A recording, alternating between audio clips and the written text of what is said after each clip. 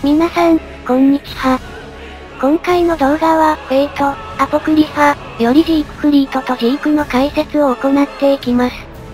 ここから先は型月作品のネタバレが含まれます。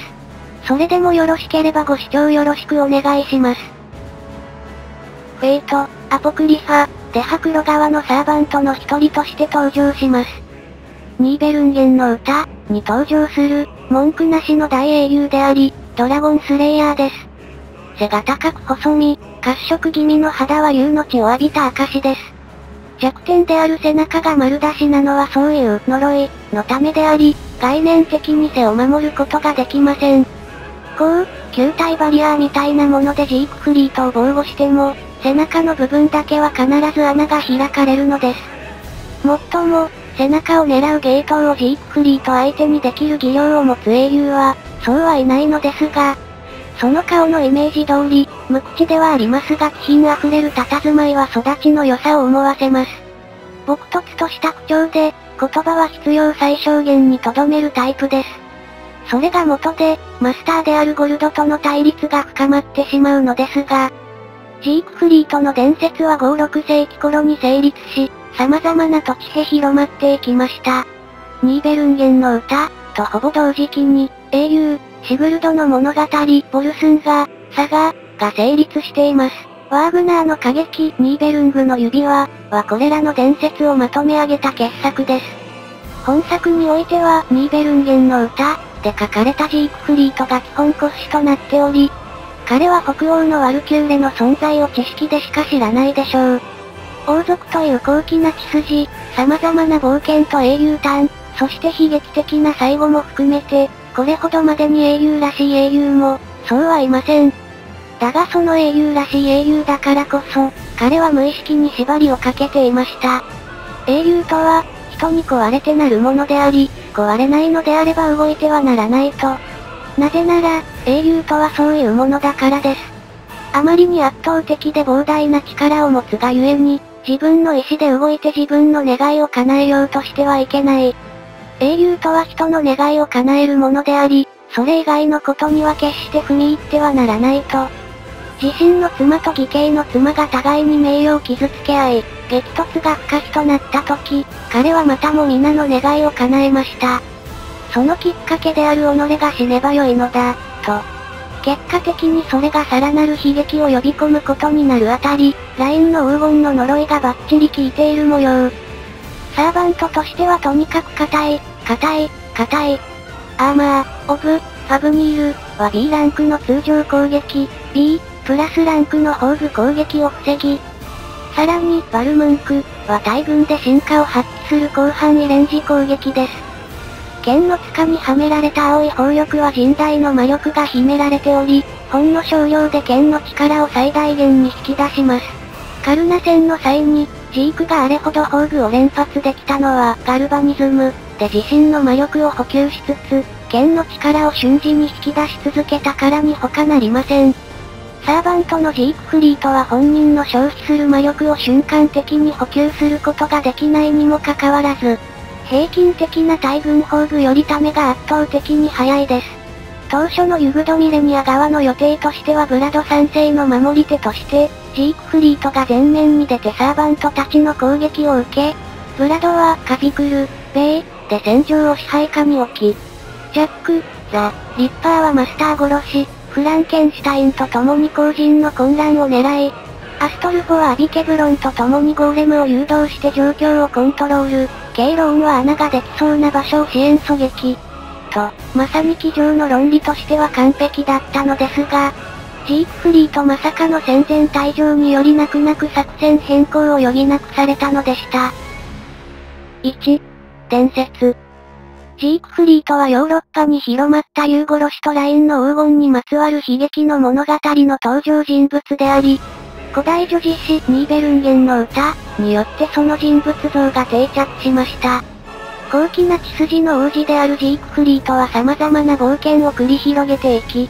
ブルグンと国の美少女クリームヒルとの噂を聞いて、求婚に向かい悲劇が始まります。実のところ、ニーベルンゲンの歌において、ジークフリートは主役という立ち位置ではありません。誠の主役は彼の妻であるクリームヒルトであり、この女自死は彼女の絶望と憎悪がもたらす一大復讐劇なのです。従ってジャユーファニールを倒したことやマケンバルムンクを手に入れるまでの冒険も、あくまで登場人物による伝記として語られるだけで、実際の描写はありません。本編第一章において、彼がファブニールと相対した際のことを何も覚えていないと告げたのは、そもそも誰一人としてそれを見聞きし、語ったことがないからです。ジークフリートは冒険の末に姿を隠す街灯を手に入れ、マケンバルムンクを手に入れ、ついにはジャユーファブニールを倒すという竜殺しを成し遂げました。しかし、その誠実な戦いの数々をほとんど語ることはなく手に入れたラインの黄金も大した浪費もせぬまま、彼は唯一の弱点である背中を無二の友に託しました。ジークフリートからすれば、すでに抜き差しならぬ関係となっていたクリームヒルトと義兄の嫁との間の対立を解消するための一手だったのですが、彼は致命的に見誤っていました。クリームヒルトは殺された夫の復讐のためなら、悪魔に魂を売っても構わないほど自分を愛していたことを。彼女の憎悪は殺したハーゲンだけでなく、兄であるグンターにも向けられました。そしてクリームヒルト自身も、憎悪に囚われたがゆえに疑心の一撃に倒されることになります。なお、クリームヒルトがハーゲンを切るのに使用したのはジークフリートの愛犬バルムンクであり、巡り巡ってジークフリートが復讐を果たしたのだという者もいます。しかし、かつてジークフリートとハーゲンが酒を飲み交わし、語り合った友人であったのも、また確かなのです。サーバントとして召喚されるたび、ジークフリートは思います。竜を殺した英雄と歌われるが、自分が最後にやったことはさらなる悲劇を生み出したに過ぎなかったことを。これまでいろんな人間の血を流してきたのだから、お前が守ってきたものにも血を流させると言わんばかりの絶対王法。だから彼の自己評価は常にマイナスで、何かにつけてこうつぶやくのです。すまない、と。2、戦術。ジークフリートは数多くの剣の英霊の中でもアーサー王やシグルドと並ぶ最強のセイバーの一人である大英雄で、人外の域と称される高い剣技と不死身の肉体を活かし、攻撃されることを前提とした捨て身の戦法を取ります。その近接能力は大英雄であるカルナと互角に打ち合うほどです。ブレス一つでオルレアン一体を吹き飛ばすファブニールを生前に不死身の肉体や竜特攻なしで打ち倒したことからも、その剣技の凄まじさがわかるでしょう。また、竜の心臓を得たことで竜殺しでありながら自身は竜種としての属性も持ち合わせます。3. クラススキル。大魔力、ジークフリートの大魔力はアーマー、オブ、ファブニールを得た代償によって失われています。騎乗 B。騎乗の才能のことです。大抵の乗り物なら人並み以上に乗りこなせますが、魔獣、聖獣ランクの獣は乗りこなせません。4. 保有スキル。黄金率、C。人生において金銭がどれほどついて回るかの宿命を表す能力のことです。ニーベルンゲンの財宝によって金銭には困らぬ人生を約束されていますが、幸運がランクダウンしています。仕切り直し A。戦闘から離脱、あるいは状況をリセットする能力のことです。技の条件を初期値に戻し、同時にバッドステータスのいくつかを強制的に解除します。竜殺し A。竜種を仕留めた者に備わる特殊スキルの一つです。竜種に対する攻撃力、防御力の大幅向上。これは天から授かった才能ではなく、竜を殺したという逸話そのものがスキル化したと言えます。5、宝具。バルムンク。黄金の夢から覚め、洋蘭から解き放たれよ。邪竜、滅ぶべし。バルム？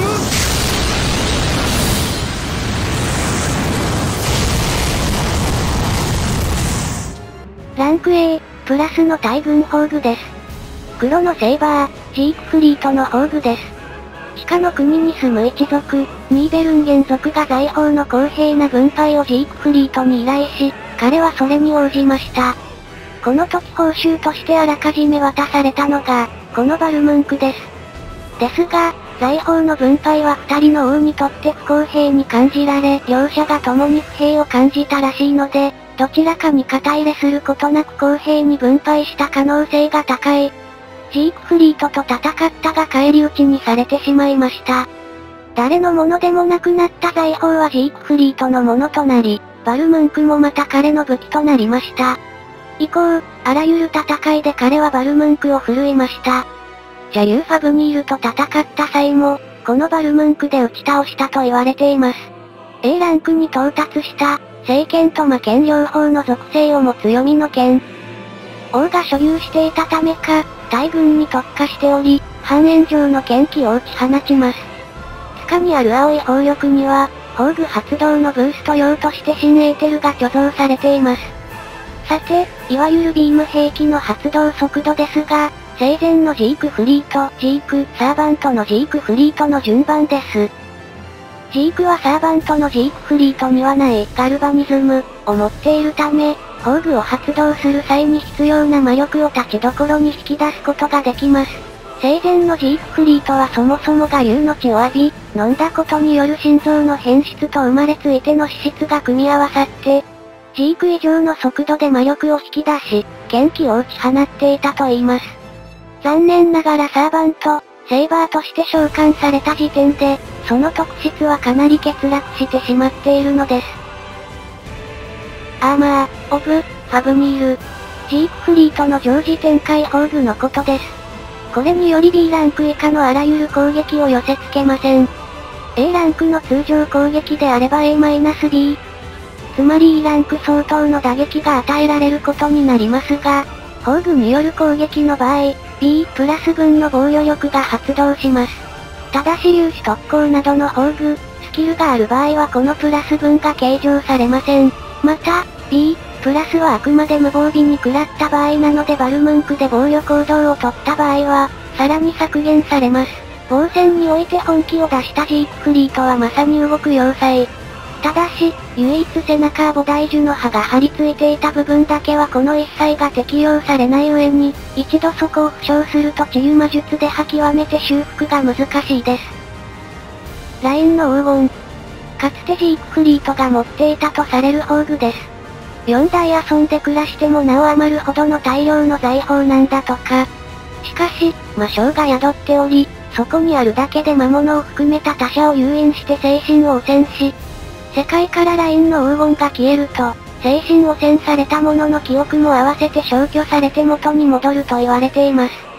フェイト、ステイナイト、では、アインツベルンの本拠地はラインの黄金があった山岳地帯であったとされ、ジークフリートのマイルームボイスにて、現代ではアインツベルンの手に渡っていることが確定しました。タルンカッペ。原典においてジークフリートがまとったインミノのことです。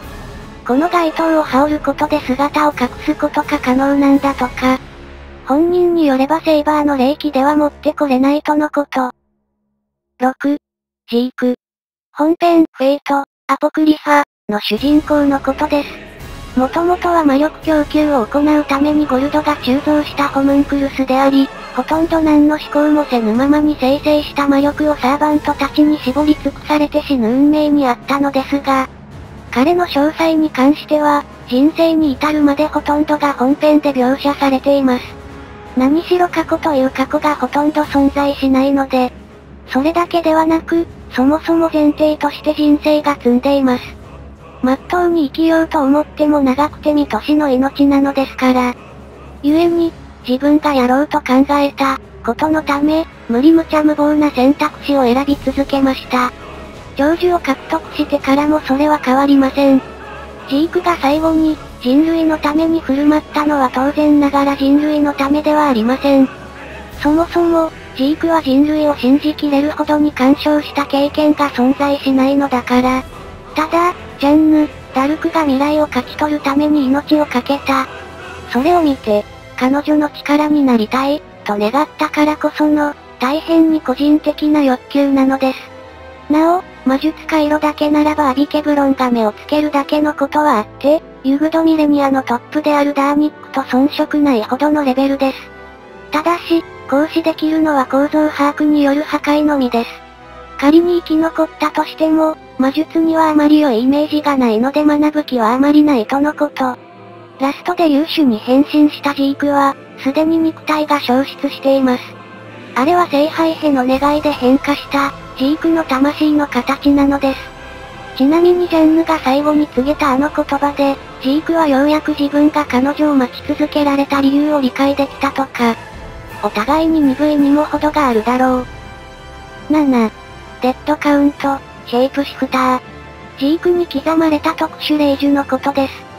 通常の霊樹として活用することも可能ですが、アストルフを相手に霊樹で何かを強制する必要が全くなかったので、すべてをジークフリートへの転身として活用しました。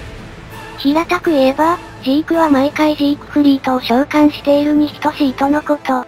触媒は、ジークフリートの生きている心臓です。だが、ジークフリートの肉体ならば耐えられる竜の血が、ジークには耐えられません。令呪が消えた場所が黒く変色していったのはそれが原因です。使い切っても、フランケンシュタインのブラステッドツリーでいたパワーが延命装置として、ジークをどうにか人間の姿に保っていましたが、最後に宝具を使用したことでそれも使い切ってしまいます。8、世界の裏側。邪悪なる竜が本編最後にたどり着いた場所です。上城の終わりを理解した幻想士たちが地上を譲り渡し、この場所に移動したとされています。現在の人間が住む世界、物理法則も含めて、とは、惑星の地表に薄く広がる織物のようなものとされ、その織物のもとに地球、という惑星が存在するとのこと。一方、世界の裏側とは人間が住む以前の世界。すなわち、幻想士たちが闊歩していた時代の織物で、つまり地球は惑星の地表が一番下にあり、それを包んでいるのが世界の裏側、かつて世界だった法則が支配する場所であり、さらにそれを包んでいるのが現在の世界というわけなのです。世界の裏側では聖杯は第三魔法の行使という機能を果たしません。そもそも、あれは白う、琴峰の願いを叶えるためのものであるので、人間を対象にプログラミングされているため、幻想種などカウントに入れていないのです。ジャンヌ、ダルクは英霊であり、もともと人間としての肉体は遠の昔に消滅しています。そのため、裏側にたどり着く可能性は決してゼロではありませんでした。と言っても、例えるなら壁にぶつかっていればトンネル効果でなんとかなるとかそういうレベルのゼロではない、だったのですが、英霊が存在する座は、時間軸から切り離されているので思考回数は無限に等しいのです。9. 宝具、ジーク。ここではジーク状態でのみ扱える宝具を解説していきます。ブラステッド、ツリー。フランケンシュタインから受け継いだ第2種永久機関を用いた宝具です。相手に組みつき、己の体諸共に敵を打ち貫く捨て身の雷撃です。本来は使用者の命と引き換えに放つ自爆宝具ですが、ジークのものは不完全であるため、オリジナルほどの威力を発揮できない分、反動も死に至るほどのものではありませんでした。ジークの肉体そのものに宿る力であり、龍国霊樹での変身は必要としません。赤フィローガ、アルブリーズ。転身開始。彼方への巡礼を。我が身は天の杯を抱えて飛ぶ邪竜なり万物誘拐赤フィローガアルグリーズ FGO で追加されたジークの宝具です。粒子ファニールヘの一時的な形態変化をもたらす宝具です。強力なドラゴンブレスを放射することによって、莫大なダメージを与えます。基本的にブレスを吐き終えれば元に戻りますが、短時間であれば竜の姿をとっての飛行なども可能です。10. バルムンクの連射速度。バルムンクは数ある大軍砲具の中でも優れた連射速度を誇り、連続で放ち続ければあのカルナが相手でも連射制で押し切ることも可能とされるほどです。都ハイ英雄の心臓の進化を発揮できた生前と比べると英霊となった身では相当遅くなっているとされます。連射速度の順でいけば、ジークフリート、サーバント、